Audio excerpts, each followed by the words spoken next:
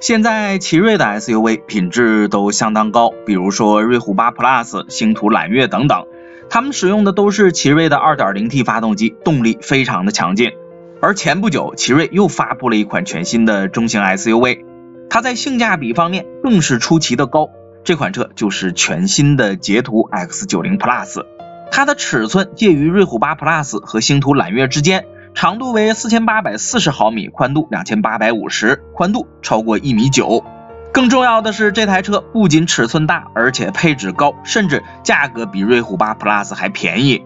全新的捷途 X90 Plus 的颜值比原来的 X90 可是要高得多。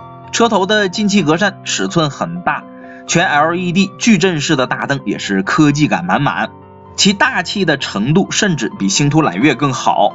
侧面两条不连贯的腰线配合庞大的车身，也有很强的压迫感。车尾则使用了全新的贯穿式尾灯，而新的捷途 X90 Plus 车内的气场同样也不输星途揽月。大尺寸的连体液晶屏，空调区也是触摸式，而且像座椅加热、实景导航、人脸识别、电动尾门等高科技功能也是一点都不少。动力上，捷途 X90 Plus 也用 2.0T 的发动机配 7DCT 的变速箱。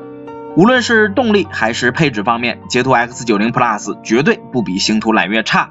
据悉，该车的价格可能在十万块起售。如果你想十万块买一个中型 SUV，还是奇瑞的 2.0T，那么捷途 X90 Plus 值得一看。